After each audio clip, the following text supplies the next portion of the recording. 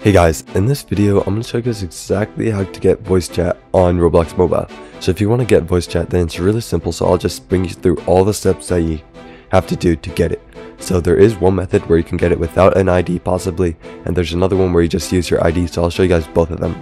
So first things first, let's hop right into the video, and let's head straight over to the settings. So click on the three dots in the bottom right corner of the screen, and then click on settings. Now once you go to settings, you're going to want to head over to account info, and the method without an ID, it's pretty simple. You just have to verify your phone number and your email address. And if you're older than uh, 13, as you can see, this is as 1987. That's not my actual birthday, but if it is older than 17 or 13, then you might be able to get voice ID or voice chat without an ID. You just have to wait a couple days, and if you get it, then you get it. If you don't, then you don't. But that is the first method. So just verify your phone number, your email address, and then verify your uh, and then you just have to make sure that your account is over 13 years old and then you might be able to get it without verifying it. But if you haven't gotten it then don't worry i'll show you the guys the other method with your id so if you aren't actually older than 13 you can actually just make an account on your parents name and with your parents age and they can just verify it with their id but now that we got that out of the way you want to make sure that it's the right age. I'm going to make sure this is the right age as well.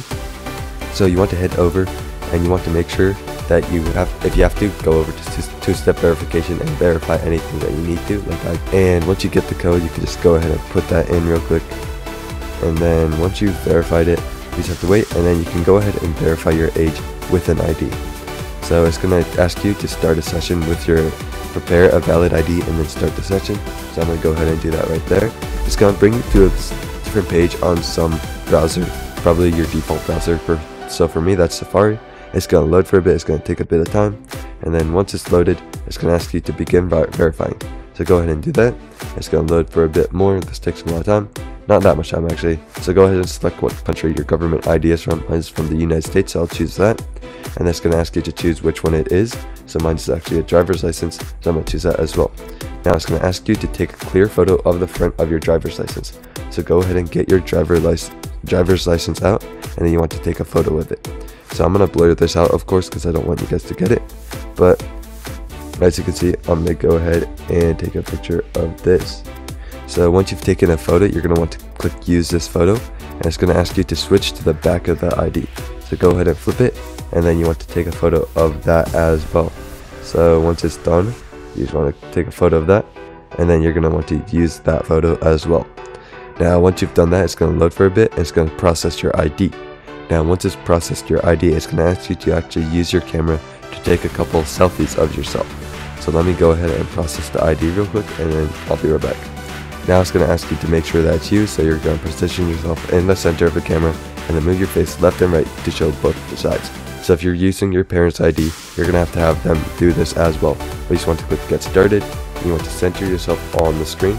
So mine actually is not loading, but it should load in a bit, there we go you want to center yourself on the screen. Now once you do that, you're going to want to look slightly left. You just have to go through that real quick.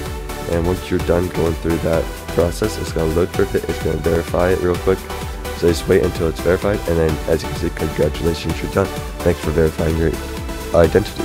So now you can head back over to the Roblox app. And it's going to load for a bit. And if you actually head over to the settings and you head over to settings, head over to privacy, as you can see right here, I should now, as as you can see, I have the option to chat with my microphone. So as you can see here, I can enable microphone and that is how you can do it. As you can see, I can enable microphone, it works. So that is how you verify your ID or get voice chat on Roblox Mobile.